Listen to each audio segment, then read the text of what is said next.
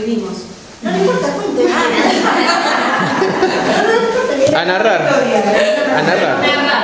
No vea, soy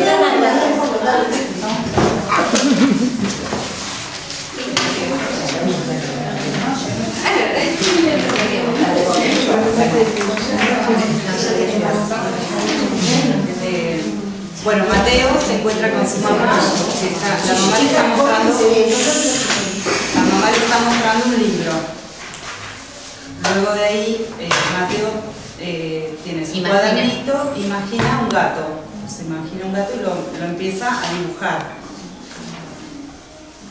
Cuando está en la cama durmiendo, imagina ese gato, sigue imaginándolo, sueña con el gato, siente que, su, que ese gato está sobre la cama también con él, que lo está acompañando. Vuelve al cuadernito donde lo había dibujado y, y se imagina algo.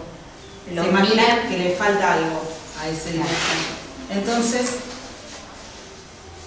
vuelve a dibujar, ¿sí? dibuja el, el plato del, del gato, imagina otra vez al gato de frente con él, sigue imaginando